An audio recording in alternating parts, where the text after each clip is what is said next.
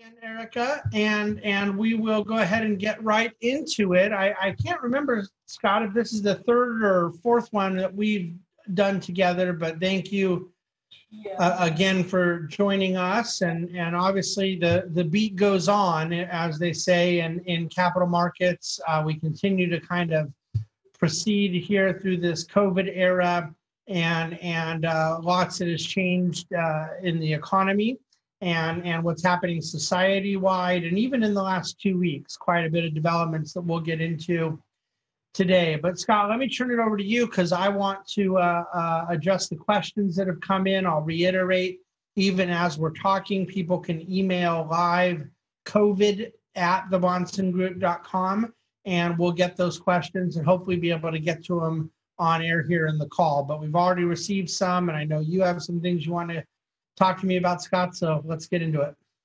Well, David, thank you so much, and it's great to be with you. And I think uh, after every call, the market goes up. At least that's what's happened over the past I, couple of calls. so maybe this is a new indicator.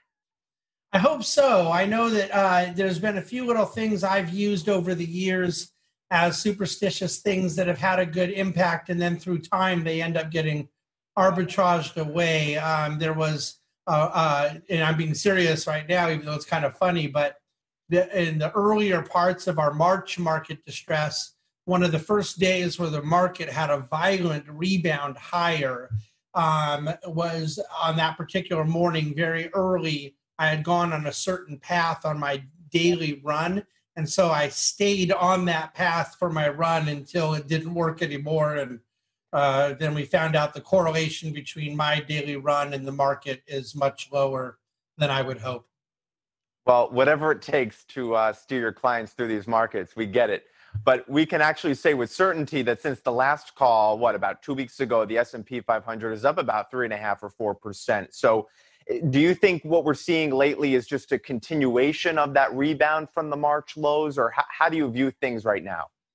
Yeah, it's difficult to provide an allocation of attribution for what these factors are, but I think there's three major factors, and someone may think it's a third each or 50% one and 25% the other two. I, I don't know, but I do think that the three major things that have allowed risk assets, particularly US equity markets, to continue rising higher. And just anecdotally, it isn't just US U.S. has led the way, but I, I look every night um, quite heavily at Japan because I'm so intrigued by how the Nikkei has even uh, participated in this move higher as well.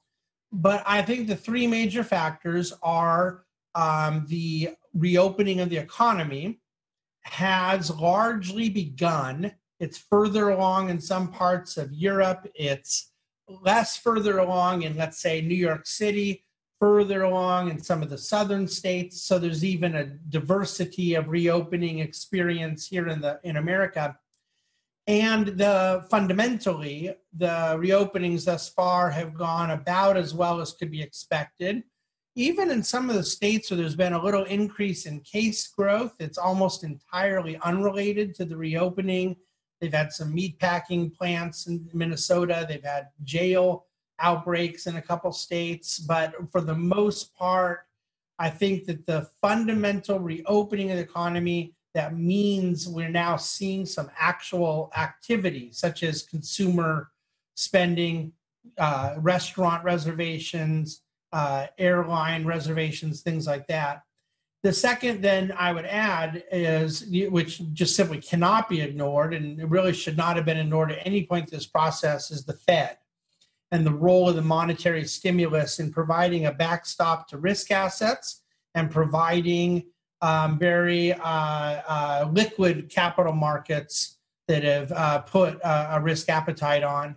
And then I think the third would be the TINA trade, the there is no alternative. This is correlated, of course, to the second point about the Fed. Um, but you have a 10 year US Treasury trading at a 0.65% yield you have um, a significant fear around some of the Asian equities, not so much Japan as we talked about, but China. Um, you have currency questions all over the globe. The dollar is viewed more stably. And so when someone looks at where they want to put capital, uh, US stocks have just simply been a kind of um, better than the alternative uh, type of, of option. When you blend those three things together, um, some of which I think are more legitimate than others, it does provide a much more rational explanation for why equity markets have continued in their forward movement. Well, and we've got the jobs report on Friday, which is expected to show an unemployment rate perhaps as high as 20% for May. Uh, can we can we be in a scenario where we've got an elevated stock market uh, and that high of an unemployment rate? Can those two things coexist? Um, they can, and they probably will, and they certainly have. Now, not at 20, but you know, you recall um, just in very recent history, early 09 when the markets recovered, uh, by the time the unemployment rate had come down to a more palatable level, it was really well into 2011, even 2012. Um, so unemployment wasn't 20%, but I mean, in 2010, unemployment was 10%. And markets by then had already recovered 25% in 2009, another 18% in 2010. So you had a lot of uh, stock market doing what the stock market does lead as opposed to follow the economy. This is even more the case now because of the highly transitory nature of a lot of that unemployment burst. Uh, we know that there's some jobs that aren't going to come back. We know there's going to be some lag effect of, of kind of sticky unemployment that's going to be tragic, but we know that that's the minority of the new unemployment that's been created, that just mathematically such a high percentage of the initial joblessness was a direct byproduct of the government forced shutdowns, and therefore there's some percentage of jobs that get to come back immediately. We can totally debate as to what that percentage is and when we will achieve a more palatable um, kind of bottoming of unemployment but I think that whether you believe it's 50% or 80% of the jobs that are coming back there, and it's probably somewhere in between those two numbers, there's some percentage of those jobs that are coming back very quickly.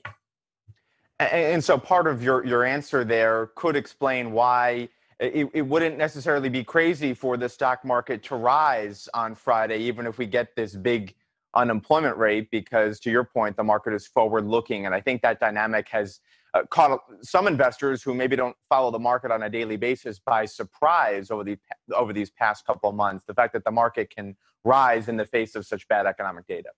That, that's exactly right. And so the markets do not trade off of bad news or good news. They trade off of worse than expected or better than expected news. And so it always depends on what's already sort of been baked in. I would add for those who want the nuances and the granularity here, Scott, that this Friday, the most important number will very likely not be the headline number, the, the unemployment rate, and even the total amount of folks that are unemployed, as much as, and this was the case a month ago, the percentage that are viewing their unemployment as temporary. Now, as I pointed out a month ago, that number then and this and it will be the same this Friday is fallible. It's indicating the employee's perception of their own situation, not necessarily the employer's intention. But one of the things that I think surprised markets pleasantly um, was that 78% self identified as temporarily laid off.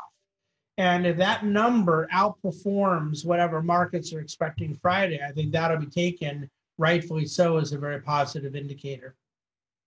Uh, David, uh, as as your clients know, you've been writing daily commentary about the coronavirus and its effect on markets for really probably over well over two months, right? Uh, uh, you know, so far. Uh, what are you seeing on the health front? Because you've been doing a lot of research in your daily commentary about this, and I'm just wondering if there are themes you have noticed that could give us a sense of how the reopening of the economy will go. Well, thus far, I, I, think we have to look both to countries that had a head start on us in terms of their reopening occurrences, and then some of the best practices and, and situational occurrences within our own states. Obviously, Georgia was far ahead of whatever New York will end up being, for example.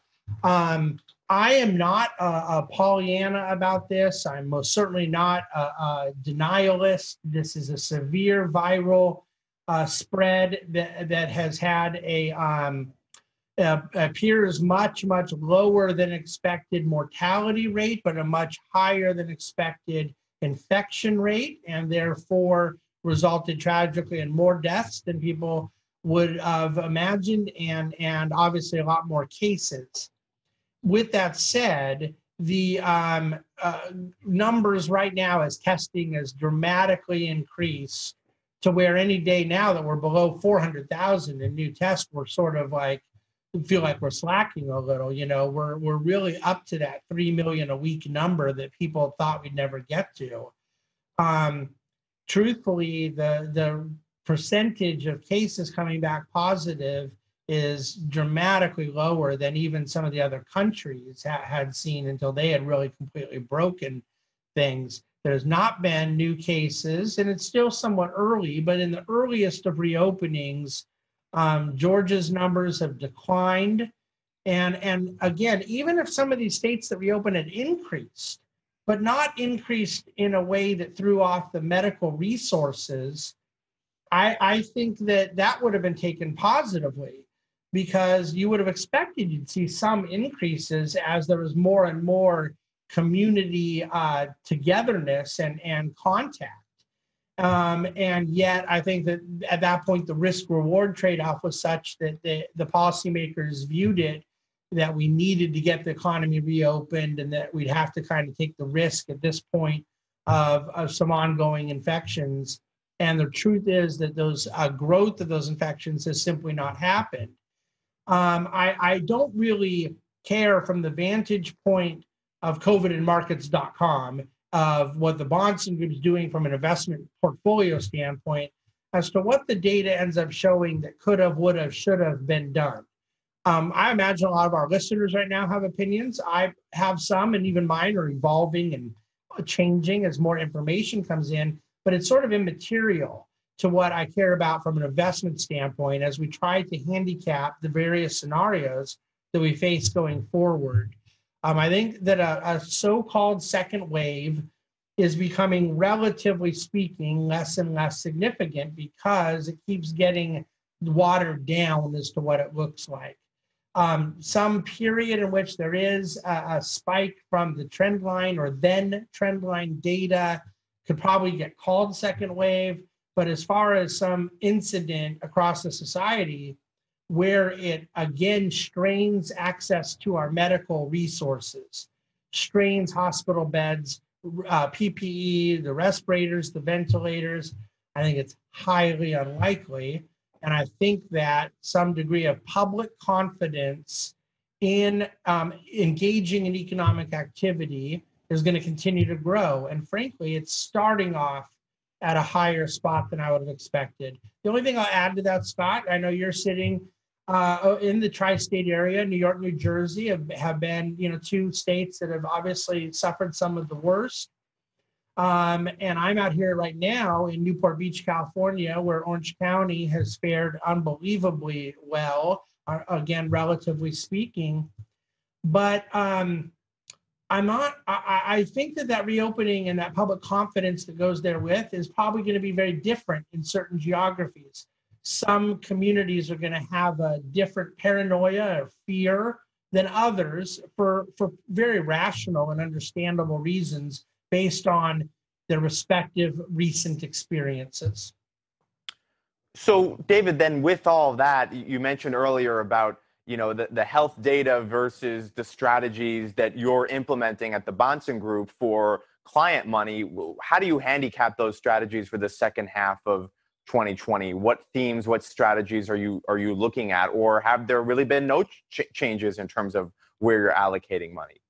Now, there's been a couple a couple pretty important changes, and and the plan that we've sort of created um, let's call it now two and a half months ago, as we were in the height of the COVID distress.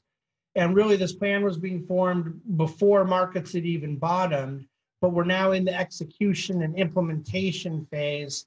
And we feel very um, proud of where it is and where it's going, and very confident that we're doing the right things.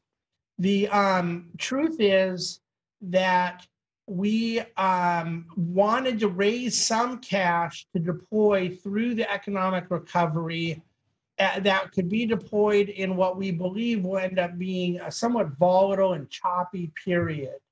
The, the reality is that the equity markets we thought were going to have a significant snapback quickly, and they did. Um, they went higher than we thought, quicker than we thought, but we never intended to take from equity money when equities were already distressed. We always intended to take from what we think is the most expensive asset class out there, which is some version of high quality bonds, whether that be treasury bonds, investment grade corporates, or high grade municipal bonds, depending on the client and the account and the situation. And and it, it really, I'm confessing that it was accidental, but it accidentally worked out well to our timeline because at that point we really could not tap the the um, bond market easily because bonds were quite dislocated in the midst of all the hysteria of, of that COVID peak in the second, third, fourth week of March. So now we've been able to successfully access some degree of trimming down of those bonds that had fully recovered in price, were very rich, were sitting at very low yields, and and yet we're not going and putting that all into equities. Um, obviously, equities have increased in price a great deal too. So what we're doing is we are um, sandbagging some of this cash to average into the equity markets over the next six months from the second half of the year, July through December. Will um, that work out great for timing or will we end up adding to that at dow 26 27 28000 i don't know but i don't think anyone's going to be upset if that is the case and indeed if equities come down a little bit and we're adding in at 22 23 24000 um, that i think that will be opportunistic and provide some better uh, entry prices for deploying some of this new cash um, the most likely scenario, Scott, if I were to try to forecast this, which I would not, but if someone forced me to say what I think will happen, it's going to be both. I think that we're going to have some months where we're deploying with the Dow a little higher and some months where it's a little lower, but that we're going to try to take advantage and manage the risk and reward set of the next six months of economic recovery. That the phase one of stock market recovery um, has has played out, and that phase one was the snapback, the bounce out of deeply oversold conditions and technical irregularities, and that the phase two that I've called now for over two months, the grind, that we're in the grind phase. That's now begun, and so we want to deploy some cash throughout the grind, and we believe whether it's vaccine driven, herd immunity driven, um, societal confidence driven corporate earnings being surprising to people just on the basis of how the economy uh, and its recovery shapes out. Whether it's Q4, Q1, Q2, we think that a better time is coming. And we think that this will enable our clients to maintain their strategic asset allocations and yet manage some risk reward along the way. So it, that's a long answer to your question as to what we're doing now. Within the equity portfolio, we already made the readjustments that we thought were prudent. We're continuing to monitor that as well. There, frankly, were a couple stocks on our shopping list that we wanted to add. We did get to add some in March, a couple new names. I can't say names on this broadcast, um, but that was done back in late March. There were a couple others I'd hoped we'd get to, to nibble at, and they just sort of got away from us price wise. And so that's a good thing. It means that there was some of that equity recovery taking place. What I face at the other end of this is a bigger challenge for me, and it's pretty much dominating a great deal of my intellectual bandwidth. My research efforts right now are largely focused on what I want to be able to do on the other side of the grind, because I think the traditional asset allocation metrics are going to be different if we were sort of a 50 30 20 to use a round number in asset allocation 50 equity 30 bonds 20 alternatives i see a, a, time coming when we might be 50 20 30 lower in bonds, higher in alternatives. Um, I also see potentially a time where there may be some clients with no bonds that um, they only they don't care about the parking lot benefits with yields that I think are going to be one percent or lower for a long, long time, and yet the spread aspect of bonds, the credit markets, kind of riskier things, the bonds that don't act like bonds that act a little bit more like stocks, we might sort of start treating that like a separate asset class from bonds so I'm a little ahead of myself here, but I think that's okay. I want clients and listeners to hear this thought process. If one of the takeaways that from the COVID moment, the way that um, less liquid, less safe, and more um, juicy bond classes acted in March, combined with where we believe AAA bonds, treasuries, bonds that act like bonds are going to be for a very long time we think it's potentially very appropriate to view um, bonds as an asset class that may not offer any return for the foreseeable future. We're not there yet. There's still spread in munis, there's still spread in corporates, but we want to look at credit as a different asset class from bonds that act like bonds. So we're rethinking some allocation decisions as we get to uh, a point later in the year and going into 2021. Well, and you mentioned alternatives. I'm wondering if you can shed a brief light on on what specific areas of the alternative space that you uh, you know think are attractive and that you're looking at for clients. Yeah, I mean, uh, the whole point of alternatives to us is to be very focused on the managers, not the quote unquote asset class, because it is a, what makes it alternative is a reduction of beta and an increase in desired alpha uh, a low correlation to traditional equity and bond markets. And so you have risk, but the risk comes down to the execution of the manager. By and large, I'm extremely pleased with how our alternatives have done throughout the last few months. There's been a couple that have really disappointed and a couple that have just blown me away and a whole bunch in between.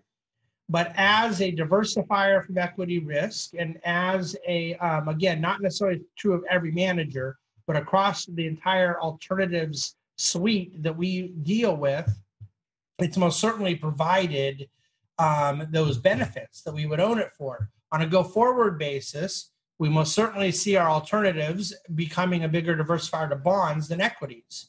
We were already very reasonably weighted in equities. You know, I just don't see a time coming where I'm going to feel the need to pull our dividend growth equities that have the constitution of risk factors that they have from, let's say, for a client who's at 50% down to 30%. Um, it could happen, but it's unlikely. More than likely, the increased alternatives would come from a changing dynamic in the risk reward set of fixed income. And so, therefore, um, across the alternative space right now, we're deeply focused, as always, on the manager, on their processes. What some that got things wrong before, we want to see what they're doing for repair recovery. And um, for those who have done real well, we want to see what they're doing to ensure uh, a continuation of process and success. Uh, but if I had a, a, kind of bias right now in not just particular managers, but underlying um, style or approach or whatnot, it would be in the illiquid space of private credit and private equity. And that was a theme of ours coming into the new year. And we were allocating that way throughout January, February, but it's a slower deployment of capital for obvious reasons. And then the COVID moment hit, and it obviously had to alter a, a lot of that execution. But I believe that there is significant opportunity in the dry powder that sits within various private credit strategies and private equity strategies for two different reasons. We're extremely pleased with how our private credit partners have held up here, delivering positive returns throughout the COVID moment, uh, not just on a relative basis, on an absolute basis. And I'm frankly very pleased that our private equity partners have uh, performed as well. And yet, I'm more forward looking. You know, it's a big mistake, by the way. I want to say this. If you're looking at your alternative strategies and you're saying, well, someone did poorly in March and someone else did well in March, I, I don't think you can make your decisions in June, July, August to punish or reward people from their March performance. Now, their March performance could cause you to rethink your confidence in them, or it could cause you to have greater confidence in them. And, and that is a process we have to go through to see if it's valid or not. But in and of itself, portfolio management is not about punishing or rewarding. It just doesn't work that way. That's something we do with our children. It's not something we do with managers. You have to make decisions on what you view the right outlook to be now. And so, yeah, we do feel now that there is great opportunity in the in private credit and private equity, both because the economy has produced opportunities in distress and in companies that have great business principles, great business models, great management teams, but have been forced through some of the economic malaise. And therefore, there's an opportunity at an entry point to, to achieve a really opportunistic purchase. And there's a lot of dry powder to go do it with, which there traditionally has not always been. So that's sort of our viewpoint around the alternative side. All right, well, we have some great questions coming in from people watching, so I want to get to some of those right now. Uh, somebody writes in Are recessions in the future more likely to be truncated given the, given the willingness of the government to engage in fiscal and monetary easing? Are sessions? Recessions. Oh, recessions. I'm sorry. Um, more, well, that's been, that's an interesting question. And uh, I don't know the answer, but I am not against that inclination. The 2008 recession lasted um, about 18 months, if we're being intellectually honest, and yet it was the deepest recession. The um, 2002 recession lasted very short, only about two quarters, um, but it was a much milder set of circumstances the the most um, economically sound answer I can give is it will depend if it's a business cycle recession or a more secular or structural recession. And what I mean by that is cyclical recessions are not only never going away and part of economic life in a free enterprise economy, but they're very healthy things. You get inventory buildups, those have to be worked down. This is where some of the great Austrian school of economists have done tremendous work to help us understand the cyclicality of recessions and interventions into cyclical recessions that tend to be more shallow can actually be very problematic. Structural recessions, whereby you have an entire credit dynamic, where there is this huge um, contraction of credit, like the Great Depression is a huge example. Uh, the Great Recession of 2008 is another example those I think are a bit different of a story. So I am more skeptical on the um, ammunition and its potency for structural recessions. But for cyclical recessions, I think it's very clear that you have a greater appetite uh, politically for fiscal stimulus and a Fed who is, is very willing to employ, employ all sorts of monetary uh, tools. So that would lead me to believe that recession lengths can be truncated into the future, but not at, without a cost. In other words, they solve for one problem but create another problem because they inevitably create a misallocation of capital and various distortions in the marketplace. Um, so the answer may very well be yes, but be careful what you wish for. Yeah, no, that's some. Those are some important points. Uh, another question we're getting where does China fit into your overall global thesis right now? We've got escalating trade tensions between the US and China, and then perhaps a, a re escalation of the protests in Hong Kong, which were really front and center last year. Yeah. Um, I laid out three different thoughts in Dividend Cafe on Friday, and, and I'm kind of standing to this sort of thought process because I don't think these three things are contradictory and yet all I can do is state them and let people decide if it's good news or bad news. I think that right now the rhetoric or the bark against China will be elevated. I think the bite against China will be pretty status quo up through the election. And then I think after the election, one way or the other, regardless of who wins, you probably do face some significant deterioration of the long term mutual economic dependency between the US and China. and and so what that means for our overall economy what that means for our culture what that means for a lot of other aspects besides the stock market that's that's something we have to discuss and debate um, but my own view would be that the reason that the market on friday was uh, a little bit volatile not much but the market at one point i think it dropped 370 points it ended up flat on the day after the president was announcing some of their new you know commitments against china their new sanctions stipulations all of this it, it was um, powerful rhetoric, and, and, I don't doubt that he means it and so forth. I mean, the flex was real, but the market obviously kind of shook it off. What the market would respond negatively to is an escalation of tariffs, the announcement that phase one is being thrown out. Um, you know, those types of things. Right now, we're on the edges, Scott. We're talking about kicking them out of some index funds. We're talking about buying less Chinese stocks in, in pension funds, things like that. It's not, it's small ball. It is. It doesn't mean it's inconsequential, but it's not significant. Um, the longer term element that I believe is coming will be um, a re, uh, regionalization of our supply chain, at least around certain key technology components to national security and around pharmaceuticals. I don't think the country's going to tolerate going through a point again where we have a health condition that we cannot fully look to because we're too dependent on broken supply chain elements in, in China. Whether or not that means finding different global partners, or it means re onshoring, or it means a combination of both, but I'm pretty confident that's going to happen. Another question we've got uh, Why do you provide market technicals in your daily COVID missives if you don't believe in technical analysis? I've been waiting for this question to come. Um, first, let me affirm the, the premise. It is very true. I don't believe in technical analysis as a predictor of future market events.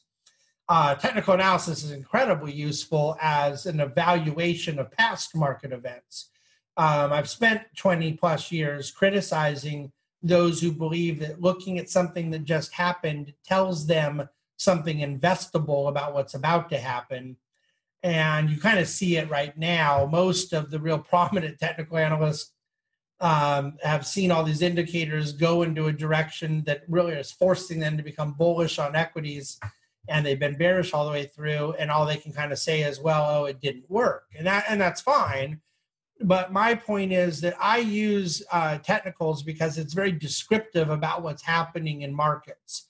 Uh, so I think a better way for me to answer the question is not why I do use it or share some of this data and share some of this market information with our clients.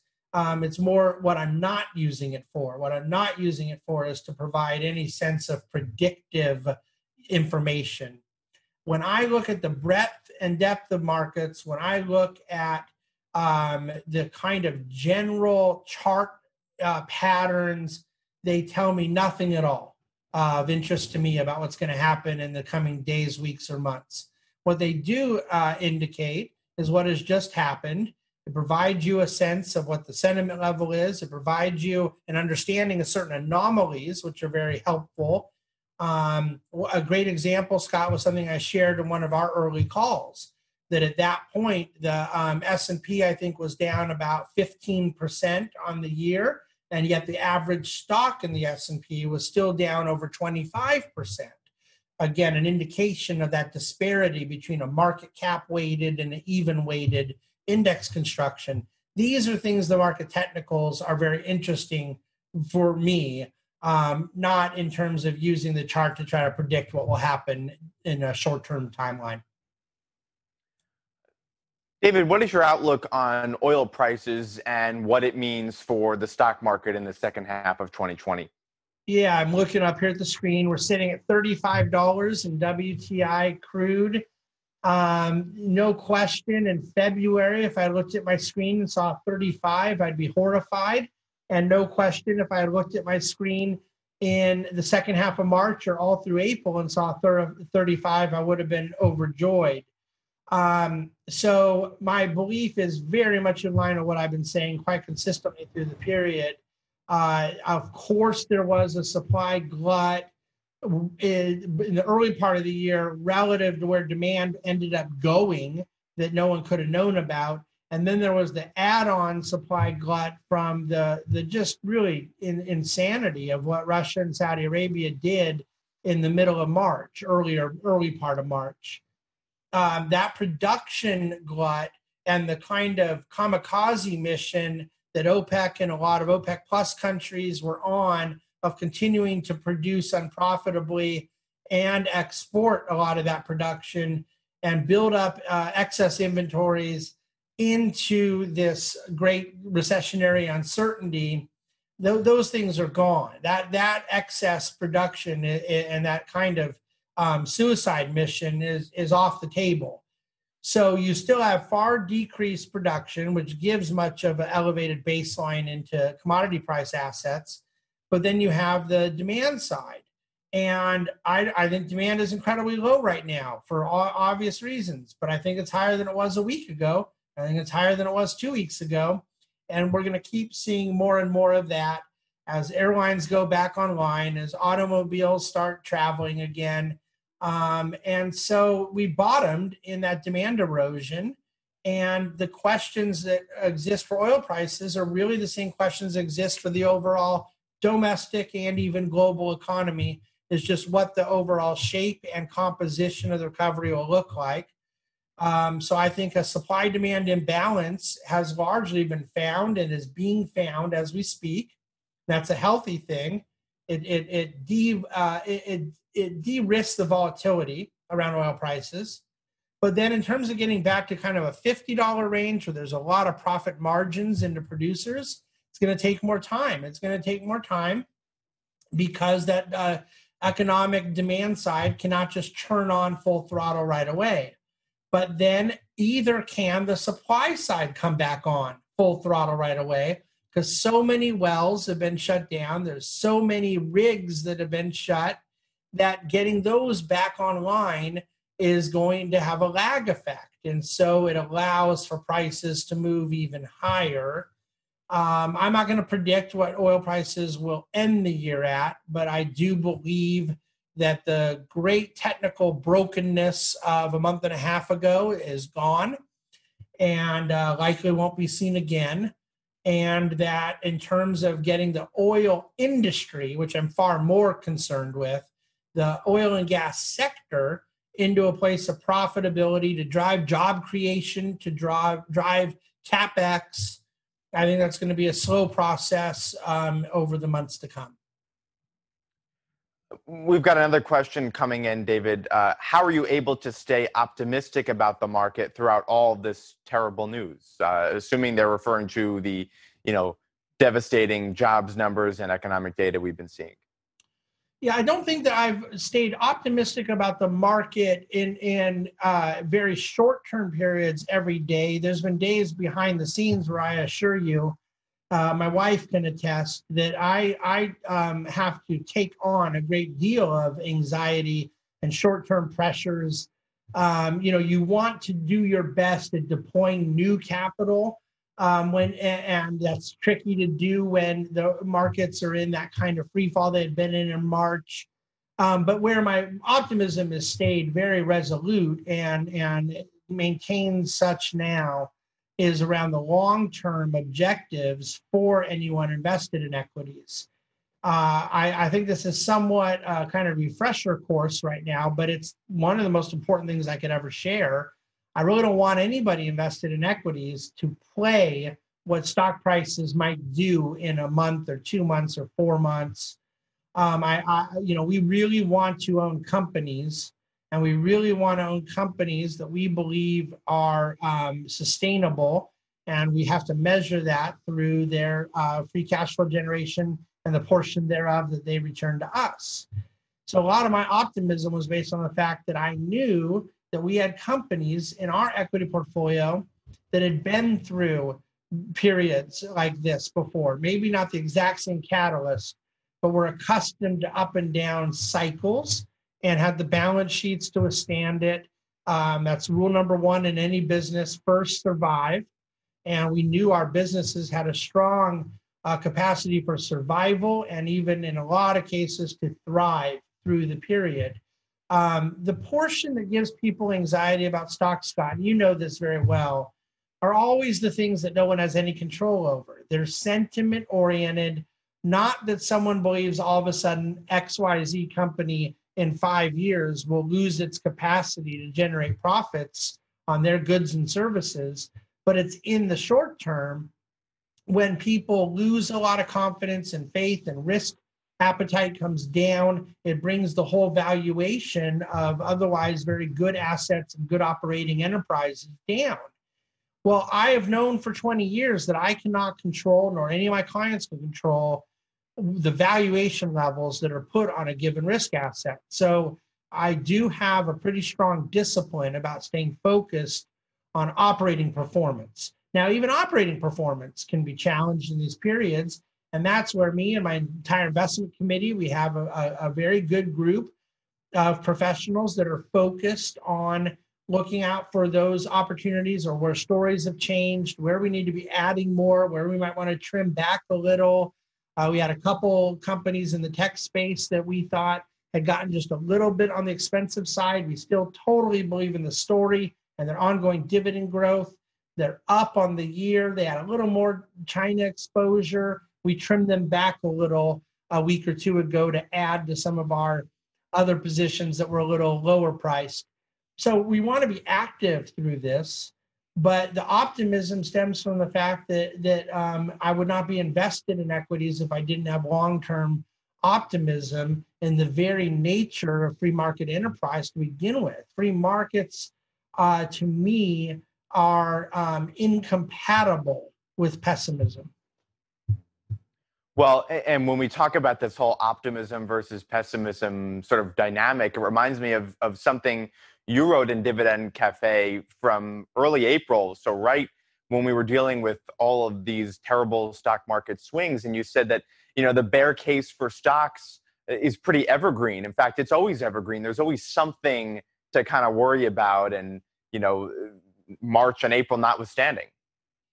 Yeah, I was thinking about this last night when I sent uh, out COVID. The, the, thought that the future, I figured with all the unrest and the, the weekend events and the news cycle over the last several days, I would have expected futures would open significantly down and we'd come into a bit of a sell off just on the basis of kind of the unruliness and, and fear and concerns out there. And and um, not only were they not down that much, by the time you know it, it all goes out, eh, they were up. And then this morning, uh, who knows where markets end today? But we're as we're sitting here talking now, markets are up uh, pretty nicely. So um, the reality is that that would have been another example of a really good reason to be bearish. You turn on the, your television set and you see this kind of uh, societal unrest and I, I think that the bear case is very evergreen and, and it just has to change its um, outfit every so often. So things like COVID are more substantial. Maybe a weekend of social unrest is less substantial. Um, but the, the point being that there are always reasons that um, to not be invested. There are always reasons to fear what you are invested in and that's what makes a market and it's also what makes a, a risk premium. You know if you're going to get some return on your capital that is higher than what you could get in a totally safe asset there's a reason that that has to happen. And that reason comes down to the embedded volatility and uncertainties that exist in things like equities. So my my view right now is that none of those principles have remotely changed through COVID, and none of them are going to. Yeah, no, well said, David. And as we wrap up here, I'll, I'll, toss it back to you for, you know, a final point and a final update of your thinking as we uh, kick off a new month of trading. Well, thank you again, Scott. As I mentioned on the on the last call, giving a lot of our viewers and listeners some context as to your role. Scott and I go back to his days at Yahoo TV and TheStreet.com. He's been a longstanding industry media professional and he understands markets. He understands the Bahnsen Group Uh, we work with Scott's company closely, and so he, this really just organically has come together. And I hope you will continue to appreciate Scott's efforts to make this happen. We plan to continue doing these every two weeks until we feel that no one cares anymore. Uh, for the time being, I hope you're getting something out of it. I want you to understand the ongoing evolutions in our thinking and our priorities. The um, issues that we've talked about around structured credit quite a bit over the last six to eight weeks, we've largely uh, been executing upon. Um, my view has really been reinforced that that was the slowest um, kind of thawing out to happen that there was tremendous dislocation that existed around reasonably esoteric assets on residential mortgages, commercial mortgages, uh, securitized um, assets. And what we've really seen since we began this investment, uh, where we deemed it to be appropriate, is two things, both of which we like. It's been very much going in our favor. It's been positively moving um, as we've been investing, and yet not at such a breakneck speed that we think the opportunity has gone away. There's still very wide spreads. Uh, there's still a reversion to the mean that we think has to take place, and we anticipate this becoming a profitable, albeit opportunistic trade in the months to come. Um, th- there were clients that we put this in heavily, clients that we did very lightly, clients not at all, based on their respective situations, liquidity parameters, and of course, risk profile. Um, but on a tactical basis, uh, we're communicating with you heavily what we're doing on the equity side. Um, and as far as the big picture stuff, Scott asked the right questions today for me to be able to give you our viewpoint and how we see this stuff shaking out. So as I'm sitting here talking, we're at 25,500 in the Dow. Um, I'm not going to set a low point or a high point in the next couple of months. But if we were a few thousand points lower or a few thousand points higher, neither would surprise me and neither would bother me. Um, we're positioned to be able to take advantage and feel good about either of those circumstances as we continue to move forward. So please, if you're a client of the Bahnsen Group, reach out to your advisor. Any questions you have on your particular situation, any questions you have about your own cash flows, where all of this intersects with your financial planning. Um, let, take advantage of this time to kind of dig in and make sure that you understand where you're at, where you're going, and uh, we can make adjustments where needed. Uh, but I really believe that our planning uh, department right now is very geared towards um, reinforcing the efficacy of what we're doing in your portfolio towards your long-term goals. If you're not a client of ours, certainly reach out if you have questions, want to understand more of what we're doing. Uh, we'd love to chat with you as well, even if it's not regarding a potential relationship. Um, we're we're happy to answer questions you have just to kind of make you feel better about your own situation.